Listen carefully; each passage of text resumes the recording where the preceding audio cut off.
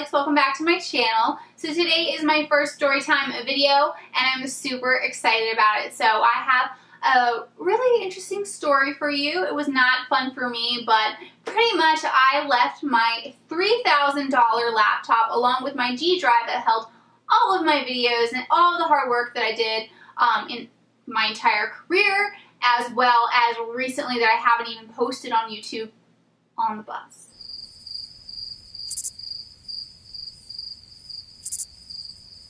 Let that sink in. So yeah, I left my, my laptop and my G drive on the bus. I cannot tell you the level of panic that kicked in when that happened.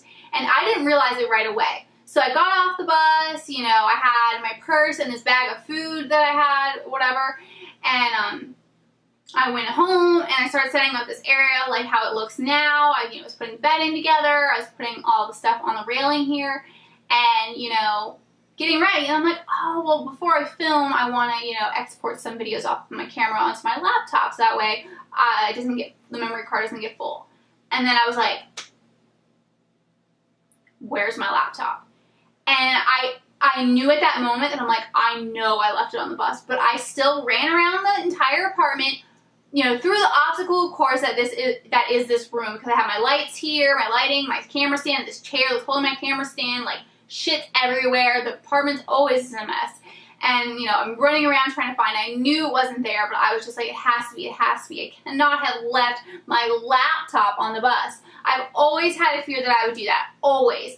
Always feared that I would do that, but I was like, there's no way I would ever do that. I mean, it's like way too expensive and it's like kind of big. Like, how would I, you know, forget that? It's not like I'm leaving my gloves or whatever. So I ran around freaking out. Yeah, I couldn't find it, so I'm dialing Port Authority's phone number as I'm walking down to the bus stop, hoping that the bus will swing around. Granted, at that point, 20 minutes had passed, the bus had already swung around and left, so I'd have to wait for it to do another loop. So I'm just going out there, hoping to God that the the bus that I left the laptop on comes on and I can go grab it and leave and just be like, yes. Um, so I'm calling the Port Authority and I'm like letting them know, like, hey, like, you know, first of all, let's let's talk about this. You left your $3,000 laptop on the bus along with your G drive that holds like everything, and you have to go through an automated set of messages. Press 1, press 2. Let me read you at all of our store hours for every single day of the week. You yell, customer service. It continues to tell you the days of the week, and it's just like, I'm panicking, and I don't care about your hours. I did not call for your hours. Why couldn't I just press a button for that? No. So I got through all that. I finally got to talk to someone who's really nice, really helpful, and they were able to locate my laptop and the bus driver had it. Thank the Lord. So, someone could have easily stolen it. Someone could have stolen it. I'm, I'm hoping there was like a good Samaritan that turned it into the bus driver. I can't tell if the bus driver, excuse me, I cannot tell if the bus driver like had the laptop, like someone had given it to him or he had found it. But I'm assuming someone had given it to him because you know, I mean, I guess maybe if he was checking the bus at some point. Um, so yeah, so luckily no one stole it. They had it, so they said, you know, we have it. We're gonna put it in the lost and found. You can go pick it up, but you can't pick it up until tomorrow.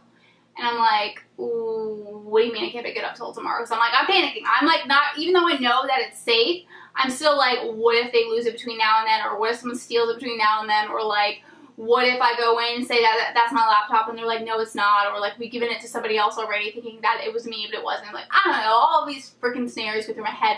Like, if I don't have my keys, my phone, my laptop on me, I just get really anxious. Like, I just need to have them. So, uh, she told me that the reason why is because the guy, he went on a different route, so he wasn't even going to loop back around. He went on a different route um, so by the time that he would be finished his shift, it would be 7.30 and you can only get stuff from the Lost and Found up until 7 p.m. So I couldn't get it until the next day. Now mind you, the next day, luckily I did have all of the work so I could get it a little bit sooner than I normally would have had I had work. But I was also going to the functional bowel clinic for all of my health issues, which I was going to be spending the day there. So I'm going to be spending the day trying to fix all my health just thinking about this laptop that I could get at 9 a.m but couldn't. So I had to call at 6 a.m., get a, like a, like explain the situation, give them all the details. Then they gave me a number, said, take this, bring this number in, and then they will give you your laptop. So, you know, I'm like, okay, you know, I kind of kept trying to ask questions like of any way I could possibly get it sooner, and they're like, no. So they're like, I know you're worried, but hey, at least we have it. I'm like, okay. So I go home and I film a bunch of videos, um, which all of them I'm refilming, which really sucks. Because um, I was like, oh, I guess I'll just film a bunch of videos, but like the lighting wasn't good. But anyway, so, you know, I just have to pass time, so I film videos and like I watched Netflix, which part of me is like, oh, maybe this happened to force me to just like relax and watch Netflix as opposed to, you know, running three channels, going to my 9 to 5 job and, you know, trying to sell stuff on Poshmark and like all the other shit that I have to do. So I'm like, uh, know, maybe it isn't the worst thing in the world.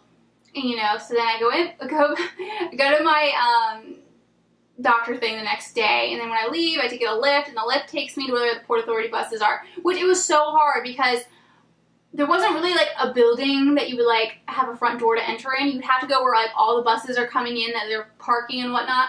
And there was like this little booth, and we were like trying to figure out where to go. And um, he was like, "Oh, you have to come with me." So I get out of the car, and I'm like, "We're walking far away." I'm like, "Well, wait a minute. This is my Lyft. Like, how long is this gonna take?" He's like, "Oh, like five minutes." So I went over to the Lyft guy. I'm like, "Hey, do you mind chilling here for a little bit? Like, you can keep the meter going. Like, I just have to go get my laptop, and I'll be right, be right back. Because I didn't want to have to wait for another cab to come or another Lyft to come. And I didn't want to have to try to explain where the hell I was because it was so hard just to find the spot where I was supposed to get my laptop. It was like, whatever, just will just make my life 10 times easier. So um, I went, I got my laptop, they gave it to me, I hugged it, it was the greatest moment ever. Um, and yeah, I could never have been so happy in my life. And then when I got in the Lyft car, I like put it on my lap. I was like not gonna put it on the floor. I like had it on my lap, made sure I was touching it at all times because I think the reason why I left it on the bus in the first place was because um, I had two seats to myself. So on this side, I kept my purse and like my food bag, and on the right, I had my laptop bag. And um, normally I'm just playing on my laptop like right until I leave, but I had hadn't imported one video that I needed to import on it, so I had to wait till I got home. So I was like, okay, whatever. So that on the side. And normally it kind of leans on my leg or something, but this time it was like sitting up against the window, so like it was like not falling over. Like it was like not touching me, not falling over, staying in place, and it's a black bag. So, you know, I get up, get off the bus, completely forget about it. I'm pretty sure I was wearing headphones. If someone was trying to scream like, hey girl, you left your laptop on the bus, I would not have heard them. I would have just kept walking. If anything, I've heard, if I tried to hear like some mumbling people behind you, like, why are they trying to interrupt my music time? I don't know. so, you know, I left and yeah, so when I got home, I was so excited to have my laptop again. It was the greatest thing ever. Oh my gosh, I cannot believe I did that. But I thought I'd share that experience with you guys. If you guys have ever left anything important anywhere, or, or you or if you're just someone who repeatedly just constantly loses things, let me know down in the comments. Share your story. If you're a YouTuber, film one of these videos and like let me know um, that you filmed it because, oh, worst, one of the worst moments ever, but at least they got it. I am so lucky and thankful that I got that back. If I hadn't got that back, like honestly, my YouTube career would probably be really screwed. I'd have to figure out how to do everything off my phone, and that would be really difficult. That'd be so fucking, that would be so annoying. Um, I have my old laptop, but it is the most slow thing ever. I'd be so annoyed.